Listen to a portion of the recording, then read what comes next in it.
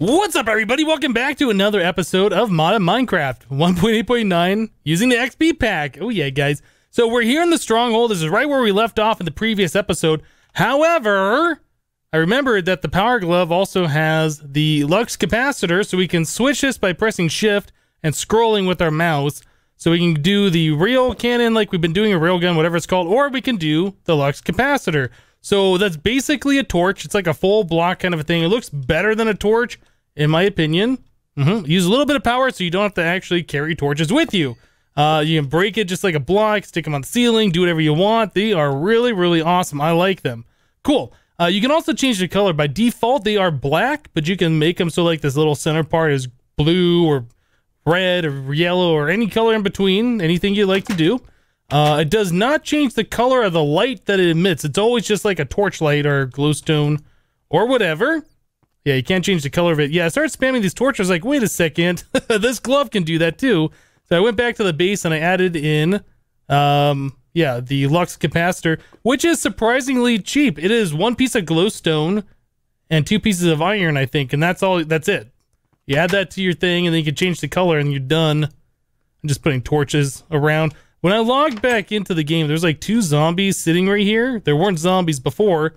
Two zombies were sitting right here. I smacked both of those. One with like leather armor is coming over this way, and I killed him. And then like two more came up the stairs. So I just decided, you know, we should probably light up some of this area and make it a little bit more safe. I think we should be pretty much okay right now. Cool. So our goal for today, we're gonna go into the end. We're gonna try not to die, and we're gonna try and kill ourselves the Ender Dragon. Once we get that done, uh, we should be able to start farming up Endermen, collect those Ender Pearls, and then make the actual flying stuff for this armor. So that's going to be awesome. Cool. So let's go ahead and do this. Yep. Got this thing ready to go. So in case I get knocked off, I should be able to hopefully get myself back on the island. We have the glider wings. Let's do it. Let's go through. Hopefully we don't die. The end? Question mark? Okay, so we're safe. There's a dragon. Oh, that does a lot of damage. Okay, I wasn't sure how much damage I was actually going to do to the dragon. That's good. That does a decent amount of damage. Come here, dragon. I'm noticing, before we go any further, I'm noticing this end dimension does not have the obsidian pillars, and I'm not entirely sure why, which means the dragon can't heal. I don't know what what causes that. Yeah, this looks like this is a pretty good way to kill the dragon pretty easily. Get wrecked! Get wrecked! Can't even do anything. Ha! I like it. Get cheesed, dragon. Give me all that XP. Rain it down on me. Give it to me. All right. Start looking at any of the Endermen. okay, what do we get here? We have the Epic Shader Grab Bag. I don't know if the dragon drops anything else in this pack other than experience. Uh, the last couple packs I played, we've had Draconic Evolution, so it dropped a Dragon Heart. I don't think Draconic Evolution is in this mod pack. Alright, well that was relatively easy. I'm surprised there is no obsidian pillars around. I don't know... I don't know why that is a thing. Uh, there's plenty of these Ender Lilies, though. So we can go ahead and collect these. Uh, when they're fully mature, they will give you an Ender Pearl. You can replant them using these seeds It takes like a week in-game time, like full day-night cycles. So whatever, it's like 20 minutes per day-night cycle or something times seven. Uh, I think you can plant them on the end stone. They go a little bit faster, maybe five days. Uh, so anyway, this is a good way to collect the Ender Pearls for now. We set up an Ender Pearl farm in the overworld should we choose to. Probably what we're to do is like what we normally do is dig out something far away so we can unload this island. Yep. We're to unload the island. We're to build a proper Enderman farm. Hopefully we'll be able to get some soul shard action happening here. That's to be really, really cool. Um, I don't know if there's any teleportation in this mod pack. There might be. I would like a way that we can warp around a little bit easier. So I'll have to look at that. Um, but yeah, this is pretty cool. This end dimension seems kind of barren, doesn't it? There's not a lot going on here. There's no ores. No obsidian pillars. Didn't have to break any of the, the healing things. Doesn't really look like there's too much else. Looks like there's a lower level down there. What's down here? Anything? There's more Endermen? Alright. Well, Whoa, whoa, whoa. Yeah, let's do. Let's get back up here. Cool. I like the rail gun, just being able to move yourself around like that. That's really, really cool. But anyway, guys, let me go ahead and collect a bunch of these pearls. Maybe uh, just collecting all of the the ender lilies that are around here will be enough ender pearls to get us going to make those ion thrusters. I'm not sure just yet. but I'm going to collect as many as we can. Then we'll look at building some kind of a makeshift enderman farm. Nothing real crazy. Just as something that we can farm up ender pearls with and kill the enderman so we can make the soul shards. But yeah, let me get some stuff done, guys, and we'll be right back. Oh my goodness, guys. So I have been doing all of the crafting. this has taken so long. Having to melt down copper ore, having to melt down the iron ore, then cast it. The casting takes a long time. Then running through the IC2 machines with no upgrades at all. This takes forever. Yep, having to go over farm more rubber and all this stuff. Yeah, we are getting stuff done though. Um, so I'm trying to keep like the process materials, like the IC2 stuff, out of the actual storage system just so it's easier for me to find. So I'm keeping like all of that stuff over here, what's left of it. But yeah, we did get four of these ion thrusters, and this is taking forever to do because we need two solenoids plus eight more. We need two of these force field emitters.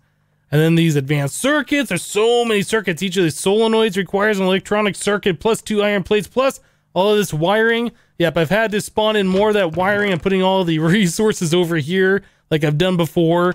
Um, so we're not cheating things or whatever. Uh, anyway, so we got these four ion thrusters finally made. Let's go and get these installed. I'm curious to see how this works because it's been a long time. So we got that in there. So we have the Tinker table where we can adjust the thrust. Yeah, let's go all the way up. Let's just do max. Let's see what this thing does. Oh. Okay.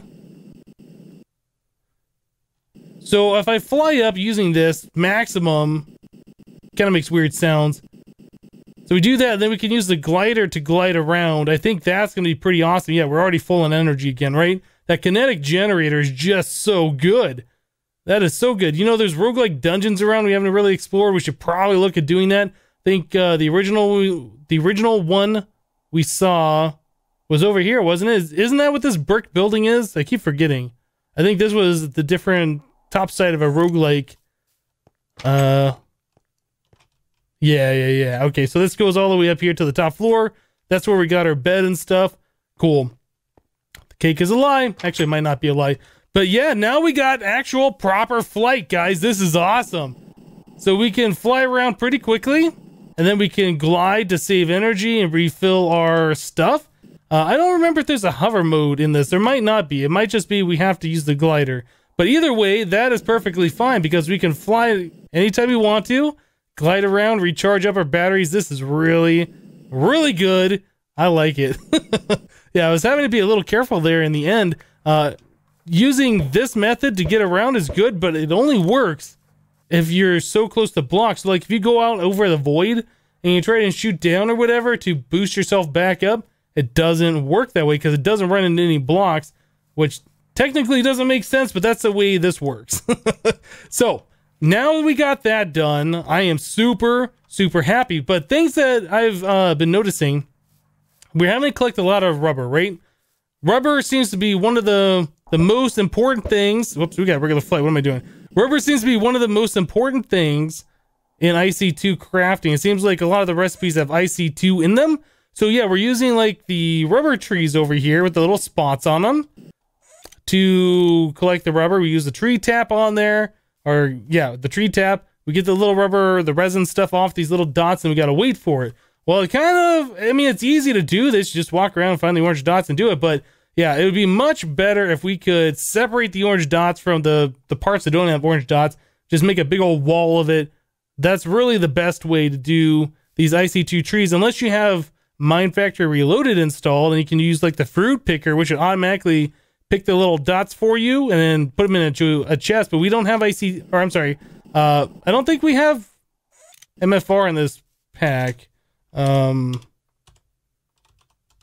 yeah, we don't have Mine Factory Reloaded. We do not. So we can't do that method. So the next best thing is to pick up the blocks and set them aside. Now, I said that we don't have the portal gun, so we can't pick up the blocks and move them before, but people have pointed out we do have practicalities, and practicalities has an item called the matter, uh, Uh, do, do, do matter transporter, transporter, transporter. Yes, the matter transporter. I've never used this thing. I assume this works just like you think. You click on it, the block goes into the unit, then you can set it down somewhere.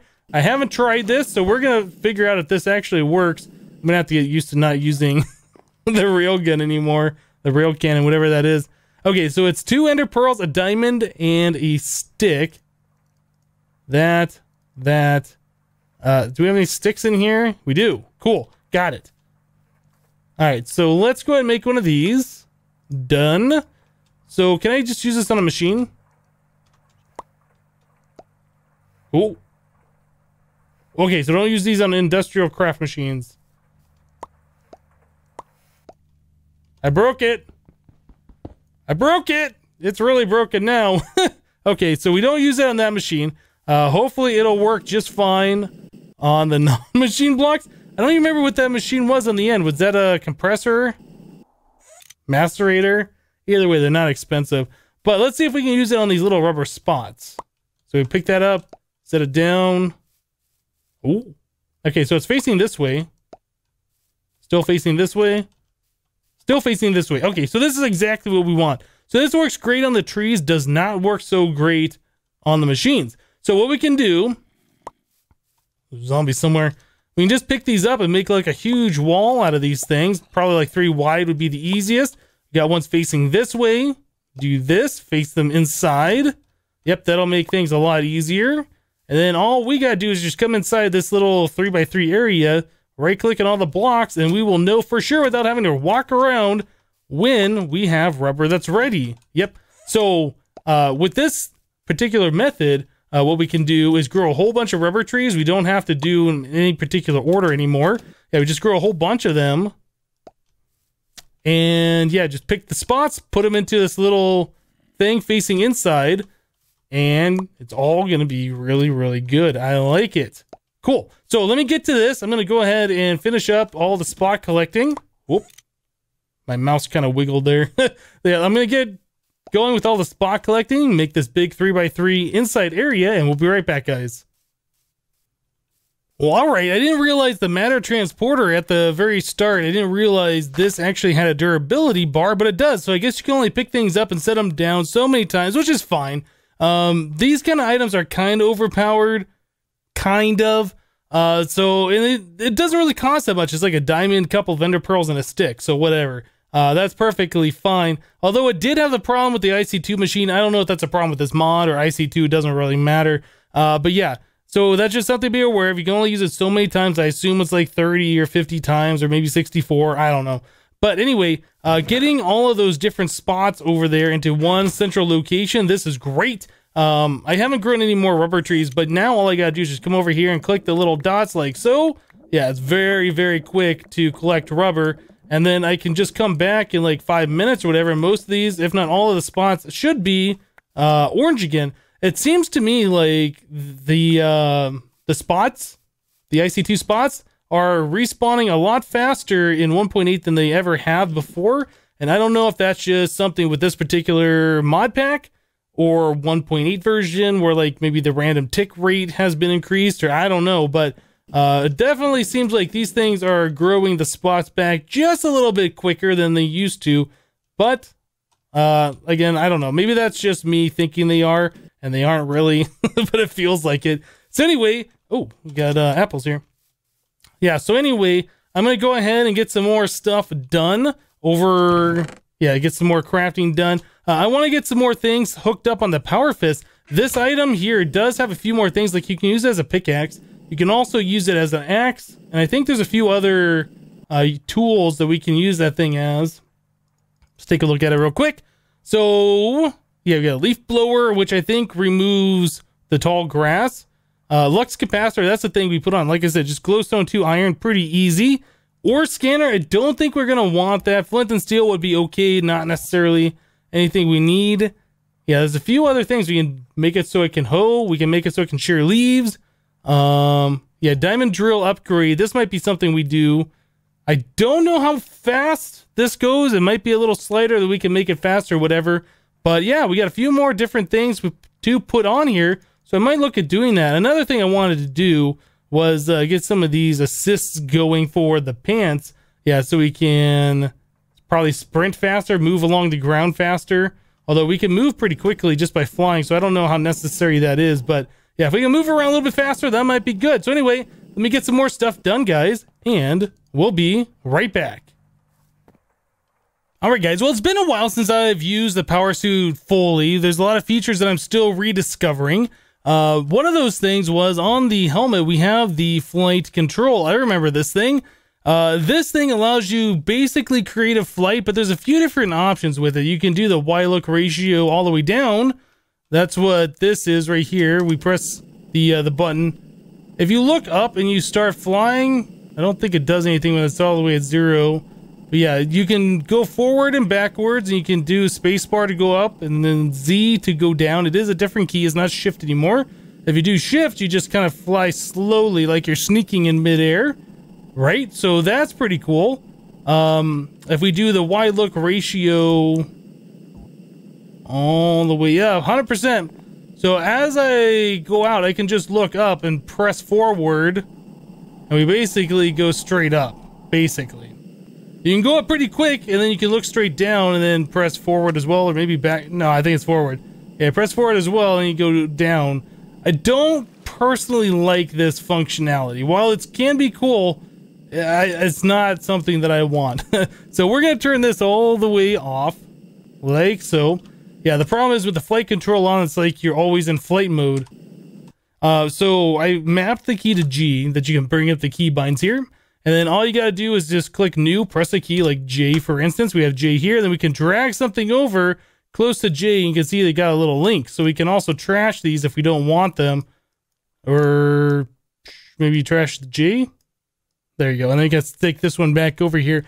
So all these different things you can map to different keys, like the wings or the jetpack, turning that on and off, I guess. I don't know. Uh, but yeah, I mapped the um, the flight control to C. So whenever I press C, we can turn that on. We get like creative mode flight, essentially. Now it is still affected by the like the gun. It still kind of bounces me around a bit. So it's not, you know, 100% creative, I guess. Or maybe that still works in creative I don't really know how this thing works, but does have a strong knockback anyway, so that's pretty cool. Now, I was going to go ahead and hook up um, the sprint assist, but as it turns out, this requires stuff that we don't have right now. Uh, it requires four of these servo motors, and the servo motor yeah, this is two solenoids each, plus basic machine casing, plus wiring. We're starting to run low on these resources. So I think we're going to hold off on doing any further upgrades. I think it's about time we start looking at doing a quarry. And uh, I was trying to figure out how we're going to power the quarry. We have oil around, so we could power it. We could grab some of this oil. We can refine that down into fuel, and then we could use like the Buildcraft engines or whatever to produce RF. That's a possibility. I was almost thinking that we should go to um, immersive engineering we could revisit the water wheel. We used this a little bit early game in Infinity Evolved Expert mode. But in order to make like a water wheel, we're going to need three of these, right? So that means we need three pieces of steel. We don't have steel yet. So that means we're also going to need 12 water wheel segments. Each of these segments require treated wood planks and treated sticks. You get the treated wood by combining, I think, oh, I can't remember. I think it's creosote with planks and a crafting grid somehow. It's been a minute since I've had to do this. Uh, alternatively, oh, I can't. Oh, I mapped a key to J, didn't I? Uh-oh. Can I unmap J? J. Did that screw this up? Go to controls here. Uh, J is supposed to be the map, and now it's not working. Full screen map J. Uh-oh. Oh, I might have messed things up, guys. it doesn't show it in here anymore, but pressing J doesn't do anything. That's a problem. Okay, well, I'm gonna have to figure that out. I was gonna say we could go over to the village that we saw. I can't remember. There was one that had the uh, the immersive engineering house in it, and that house is made out of the treated wood and the treated planks and stuff. Uh, we could mine that house and use that, Yep, I think there's a few more things to figure out here. I'm gonna find out what's wrong with the map. I might just have to relog. I might have to go in here and try and remap something to J. Shouldn't have pressed J before. If we do J here, does that still, is that, no, J's broken. I broke it! yeah, I'm gonna figure this out. We'll be right back, guys. So yeah, as it turns out, relogging in the game does unmap that button so I can get to my map again by pressing J, so that's pretty awesome. Um, I just installed the axe and the pickaxe upgrade and all that stuff in my my fist here. I haven't really tried using it. So it doesn't seem, maybe I need a shovel upgrade for gravel. I haven't tried that yet. Uh, so how's it? Okay, that works pretty good. Can we vein mine these? No, can we vein mine that? No. Okay, so I don't know if that's because of this glove. Let's try with the, the regular axe vein mine. Nope, this. No, okay. So whatever it is, the vein miner just is not configured to work with everything, unfortunately. But yeah, we're just going to go ahead and disassemble this guy's house. Sorry, buddy. Uh, you have a lot of these treated planks, and I want them. I don't have any creosote. So, yep, taking apart your house is the next best thing. So anyway, I'm going to go ahead and do this. Whoops, still getting used to uh, flying around this power suit. It is quite different than just having a regular, like an angel ring or something like that, for instance. Regular creative flight, yeah, it definitely is a little bit different than having a jetpack as well. But yeah, I think we'll get used to this pretty quickly. So anyway, let me go ahead and finish disassembling this guy's house. Mm-hmm. Taking it all apart. Probably going to steal some of this wool too so we can make another bed. So I have one on the go. That would be pretty good. Uh, another mod that I saw that was in this mod pack, I think it's called Iron Backpacks. So I assume these are like the iron chests, but like backpacks. So this would be pretty good. Like we get a diamond one. I don't know if there's anything better than this, but get a diamond one that'd be like a portable diamond chest. I think that would be pretty awesome. So I might look into making some of those in the future here uh, for carrying storage around with us. Uh, there's still also the like the ender chest and ender pouches. These are things that I've been wanting to look at as well. So this is from the Ender Thing mod. So we might make one of those diamond chests and stick it in the Ender pack. Oh, I guess they're called Ender packs in the Ender Thing mod. Yeah, we might do that just so we don't lose it. I think the Ender packs are just like the Ender pouches from the other mod that we've used many times in the past. But anyway, guys, like I said, let me go ahead and continue doing this. I'm going to disassemble this entire house, and we'll be back. All right, guys, I went ahead and I sheared some sheep. It's actually quite difficult finding white sheep around here for some reason. But yeah, I sheared some sheep so we could make this white, white, white ender pouch. Yeah, we got a white sheep there, but it seems like there's a lot of black sheep around here for some reason. and I don't know why. I thought there was another one over here. Yeah, I was looking for sheep around. I was kind of looking at the mini map. It's like black, black, black over here. I thought there was more black ones. Yeah, there's a lot of black sheep. Normally you find the white ones and like all the different colors are pretty rare. Not around here for some reason. Anyway, I don't know if that has to do with some mod doing that or uh, that's because they're nearby the roguelike dungeon. Doesn't really matter. But we got our ender pouch set up here. So if I right click on this, it says global ender inventory. I assume this works just the same as the regular like the ender chest and stuff. I haven't really given this a go to see how this all works. Uh, there's ender tanks in here. Yeah, that looks rather inexpensive to be honest. And then we got the um, the ender chest. Uh, let's see, crafted an ender chest or crafted an ender lock. Shift right click on a vanilla chest. Oh. Okay, I thought I had to make another ender chest for this. Craft craft with an ender lock. Shift right click on a vanilla chest. Okay, so we need one of these ender locks. So no, it's ender key. There's an ender lock. All right. So that is an eye of ender, some wool, and some ingots. So I don't know if we can put this in the crafting grid with colors to change the color of it. I assume we can. Um, so it looks like we're actually going to need a little bit more white wool. Let's go see if we can collect some real quick. I want to try and make one of those. Yeah, I was thinking I was going to have to make another ender chest. Didn't actually read that tooltip before. I probably should have. Give me a sheep. Give me two. Ah, you give me one. Okay, well, we got one wool from that one. Yeah, there's plenty of sheep around. There's one that I sheared a little bit ago. Bunnies around. Lots of black sheep around.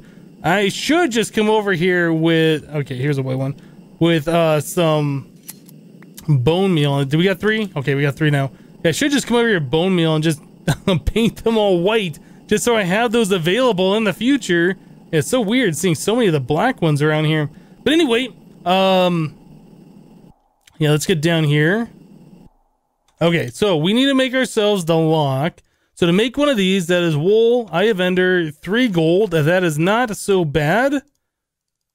There's that. We need an eye of ender, so an ender pearl. We got plenty of ender pearls from all these ender lilies that we got. So we probably don't have to set up the enderman farm anytime soon, but we will have to do that eventually, I do expect. Uh, and one piece of blaze powder. Cool. So we can do that, that, that. Got that. I think that's all we need, right? Let's go ahead and see if we can make one of these. Boom. Done. Okay, so it says to do it on a vanilla chest. Shift right click on an ender chest to set or replace the color key. Right. So let's do that. Shift right click. There it is. Okay, so now we have a global ender inventory. We can see there's a bed in there. And if I right click on this, we can see there's a bed. I do notice that opening this does not open this like the other mod does, which is fine. They are different mods.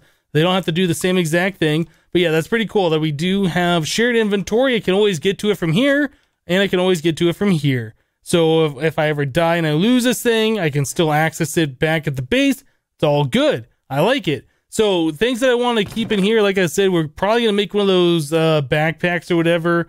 Uh, I don't think we're going to do that right now. These are just things I'm thinking about for the future anyway. Uh, so that village, we ended up getting 51 treated wood planks. We got five treated sticks. We also got a windmill blade, which we won't be using. And then we can put all this other stuff away for now. We don't really need this other stuff on us. Cool. So the, let's see, the recipe for the water wheel, the water wheel segments, that is three planks. And then, yeah, we need sticks. I don't know if we're going to end up having enough to do what we want to do here. But we can give it a go and see how much we have. I did that inverted, didn't I? wait, what? Oh, okay. Wait, wait, wait. Um, it was like this, like this, like this, and then like that. That's the difference. Okay, so it is four of those per water wheel. Okay, so there's one. We're gonna want three or two more water wheels to get this thing properly going. So there's that. Yeah, let's go ahead and make some more sticks out of this stuff. Hopefully we're going to have enough. I don't know. I don't know. I don't think we will. There we go. So there's that. Yep. We are going to need a few more planks. We don't have enough here to get that third segment going on. Uh, yeah, we need one more plank and then we need a few more sticks in order to get this going. We don't have any creosote oil, so that's going to be the next thing. So we're going to have to look at making the coke, the coal coke, uh, coke bricks. So yeah, we're going to need bricks plus clay, um, and I guess sandstone in the center. That gets us two of the coke bricks. Yeah, and we just set that up like a three by three by three. I think it has to be completely solid. And we click it with the engineer's hammer. I don't remember if we ever made an engineer's hammer. Maybe we did. We did it was a while ago. Mm, I wish this thing had sorting. I know there is a sorting thing that we can't get for this. I guess a searching thing. Yeah, I don't think so. So we're going to need an engineer's.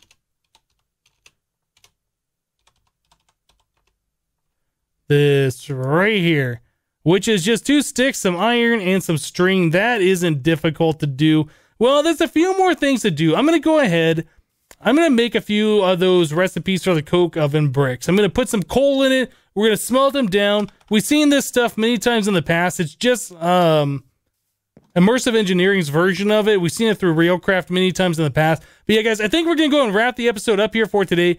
Seeing a couple of cool mods. I'm super happy that we got the flight going on now. We can move backwards and forwards in this suit really, really quickly, which is awesome. I like that a lot. Um, the only thing is, it just makes that the noise but that's fine. But anyway, guys, that's it for today. Thank you guys for watching. Remember to leave a like on this episode if you liked it, and we'll see you next time. Thanks for watching, guys. Bye bye.